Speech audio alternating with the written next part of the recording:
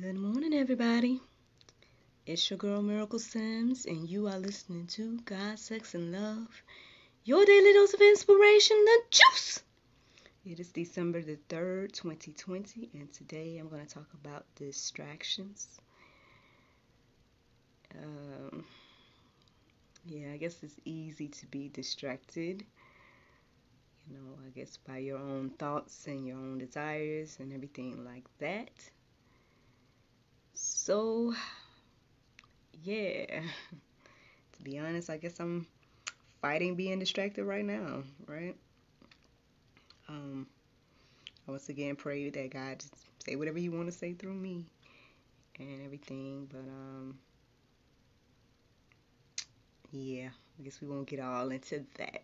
but anywho, of course, I got some, you know, uh, Bible for you. Maybe it's also for me. Who knows? Who knows? but here we go. Let's go ahead and get into it. So, 1 Corinthians 10 and 13 says, No temptation has overtaken you that is not common to man. God is faithful, and he will not let you be tempted beyond your ability, but with the temptation, he will also provide the way of escape that you may be able to endure it. Hmm, let's let's, let's let that marinate, y'all. Um, now I don't know, maybe you're wondering what this verse has to do with distractions, but I don't know. I guess it's it's pretty simple, you know. A lot of our distractions are temptations, right? And uh, as you see here, you know, God has made a way of this escape with the temptation. So you don't have to stay in it. You don't have to, you know, give in and all those things. Um, you just got to choose to take the, the, way of the escape that is available. uh, I mean, I guess it's, it's, easy to it's easy to say, or better said than done, as people say. Um, but I guess the challenge is in the midst of temptations, try to focus and look for the way of escape. Uh, you know, at the end of the day, though, I think that, you know, I know we all know that the, problem is that a lot of times you don't want to let go of that temptation. A lot of times the, the temptation is things you desire and want, right? So it's like, I guess we are all more inclined to give in to those things, uh, which is, hey, a distraction. now, Psalms 119 and 15 says, I will meditate on your present, excuse me, or your precepts and fix my eyes on your ways. Like, that is an example of where we should be. uh, instead of, you know, allowing ourselves to be tempted, things like that. 1 Corinthians 7:35 says, "I say this for your own benefit, not to lay any restraint upon you, but to promote good order and to secure your undivided devotion to the Lord." Again, another example of where we should be versus, you know, where we tend to be. uh, I know it's kind of hard to think about these things as not being a barrier. I know in that verse right there it mentions that, you know, saying these things for the benefit and not to restrain, uh, not to lay a restraint upon you. Um, but a lot of times, you know, people feel as if these things are, how can I say, uh, the temptation is better or because you may want whatever it is, you know, you feel like oh well, you know, it's a it's a restraint to to not give in, you know. But hey, that's our our way of thinking and not God's way of thinking, and that's why we need to be focusing on that. Philippians 4 and 8 says, Finally, brothers, whatever is true, whatever is honorable, whatever is just, whatever is pure, whatever is lovely, whatever is commendable, if there is any excellence, if there is anything worthy of praise, think about these things. You know, I personally feel, and, and I know there's a lot of stuff or a lot of information that I've received lately. So um, I guess I'm not talking about those extreme cases of uh, like mind control and everything like that. I think for the most part, I feel like us regular, normal humans. Sorry, y'all. I mean, I, I, I don't know if I've shared part of my re- this part of my research with you all um, in regards to this whole human trafficking and a lot of the crazy things that I'm hearing that these people are doing to people and stuff like that, which is not funny. So I apologize for like laughing. It wasn't to laugh at that. Um, but anywho, um, I was going to say that I feel as if we have more control over our minds than we think we do.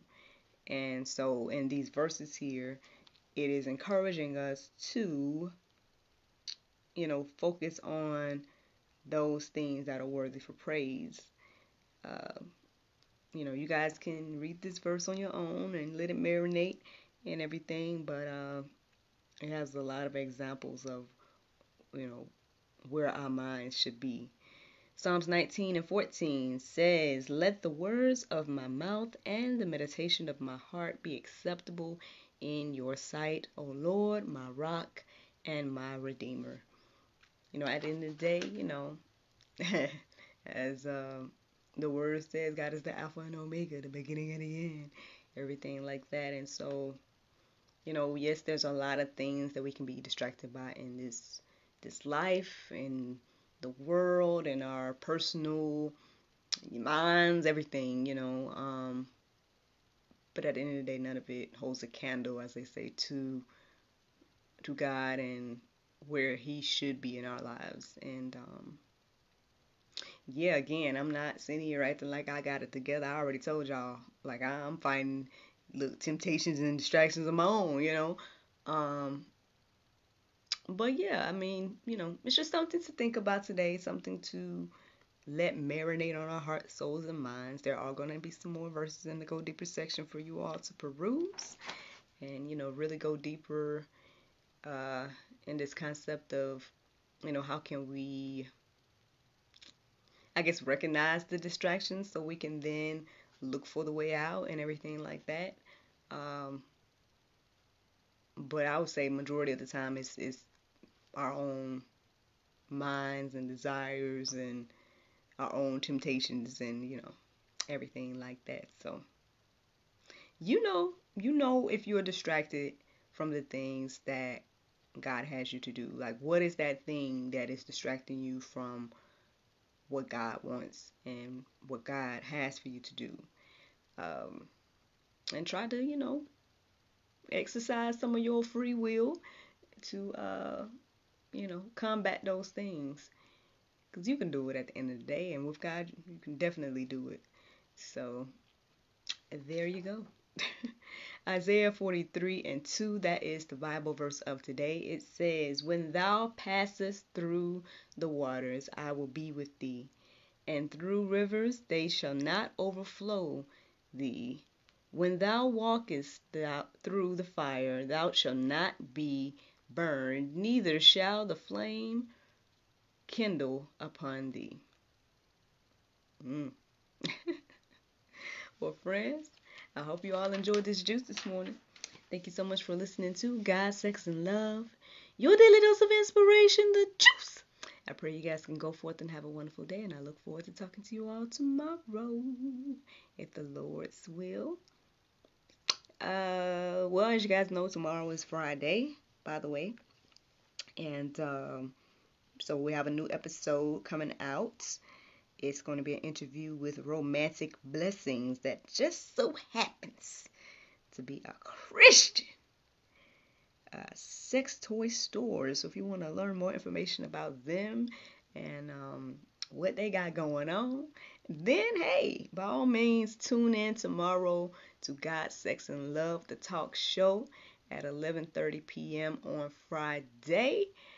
Um, actually, you can uh, tune in to just about all of our episodes. They have now been uploaded to YouTube, so you guys can watch at any time. You don't have to worry about clicking the on demand and all that stuff. Just go to our YouTube. Actually, if you go to godsexandlove.com, you should be able to tune into the full episodes, uh, including the part twos of each episode, um, on our website, godsexandlove.com. So, yeah, go there, and, and so yes, it's gonna go live tomorrow at 11:30 p.m. Um, and like I said, I am thinking and praying and trying to figure out how we're gonna move forward. Um, you know, I have a little time, so again, if you guys want to leave a comment or something like that to let me know, you know, your thoughts about that. Um, because like I said, I am considering the idea of breaking it down some instead of doing four episodes a month, maybe going down to two, maybe even going down to one, you know, because if y'all don't care about what we talking about on talk show, you know what I'm saying, we can break it all down. I'm just kidding. um, but we'll see. We'll see. I'll see what the Lord have me do. But I just wanted to share the information with you all that, you know, you can tune in tomorrow to listen to this one on one chat with romanticblessings.com. Um, you actually can go peruse the website, and if you use the coupon code God, Sex, Love 15, then that'll give you 15% off of whatever you purchase. And, um, you know, I'm on team more married sex, so by all means, you know, I encourage you if you are married, if you definitely if you're married, friends, definitely if you're married, I encourage you to go ahead and peruse romanticblessings.com and uh, see what you can see. You know, you purchase a little gift. You know, use the coupon code, and uh, I mean, you ain't got to shout it out and let me know what you got, but I hope you enjoy whatever it is. but anyway. Um, yep, y'all have a great day and thank you for listening. Bye bye. Yep, friends, there you go. There you go. That is the juice of today. Short, sweet, I guess. Um, to the point. um, yeah, we can we can all be distracted. Um, but I guess my prayer was just like, well, Lord, don't let me be so distracted that I can't do your will. So here I am, still doing what I feel God is leading me to do. And um, in spite of my distractions, and um, yeah, so hopefully it encourages you. Hopefully it helps you. Hopefully this is blessing you, whoever you are listening to me or watching me or whatever the case is. And um, yep, there you go. All right, well, I'm going to go ahead and get this out there to you. Um, by all means, I just hope you guys have a wonderful day. Keep me in prayer if you know the words of prayer, you know. Um, keep me in prayer. I'll be alright. I'll be alright. Ain't nothing wrong per se. Just, you know. Sometimes you can get in your own head, so. But anywho. have a wonderful day, y'all. Thank you so much for listening. Thank you so much for watching. And um bye bye. Listen, I got something on my golly. What is this? What is this? What is this? and uh, shout out to Faith Fit, the Faith Fit app. I finally did that um that workout I was looking at the past few days. It was good. It was a lot of upper body stuff, which I need. I need because my upper body strength is like mm, so. I need it. but uh, but anyway, let me go ahead and get this stuff out and stop talking. Y'all have a good day. Bye bye.